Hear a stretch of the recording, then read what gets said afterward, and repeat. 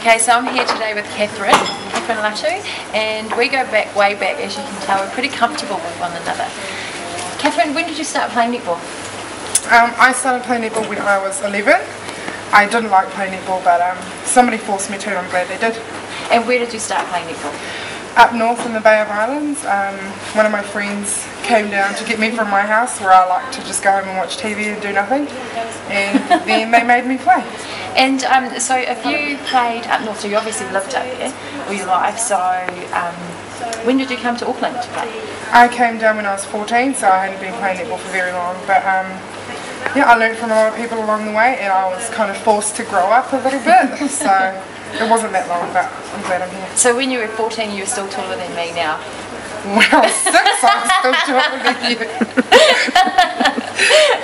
So you come from a um, big family.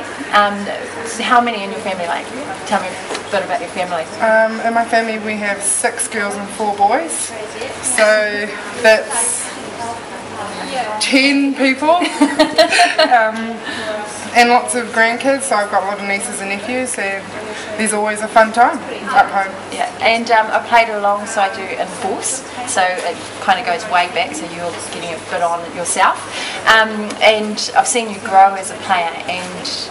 Like now, you're ready for the New Zealand team, obviously. Um, if you get selected, uh, when you can get selected, um, what have you learnt, or so where you are now to where you've come from? What's been the main difference in, in your own game?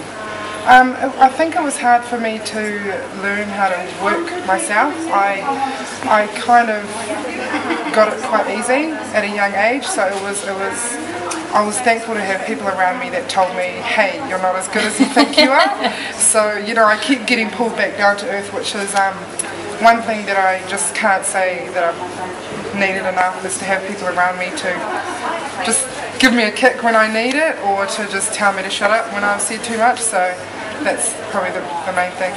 Um, and looking at your season last year and then the two games that you've played this year, um, man, it's the best I've seen you play. And um, you've got a couple of 100% during the games. I think you got one last week. Do you actually go out there to achieve that, or is it something that you just expect to do every week? Or Yeah, you obviously aim for that, but um, you don't actually know. I know a lot of shooters will tell you you don't realise that until somebody tells you. Um, I think it's more about volume of shots rather than how many go in. Um, you need to put up a lot of shots and hope that most of them go in. But um, it's more about hoping. But you just you just you just throw it and then you hope it goes. but like my passes where I hope and you save my ass a Oh, lot of times. Um, and so tonight we're going to, in to play um, the Magic. And how do you, how are you feeling about that game? Um, really good. Me and Casey have a bit of a history. I think we're one all now, which is which is. Can you please make it two one to you? I'm going to try and make it 2 1.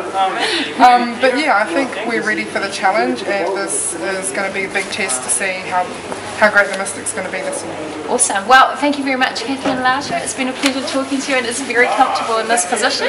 Uh, next time we, we talk, I talk to you, it'll be with Kayla McAllister to see what she's up to. See you later.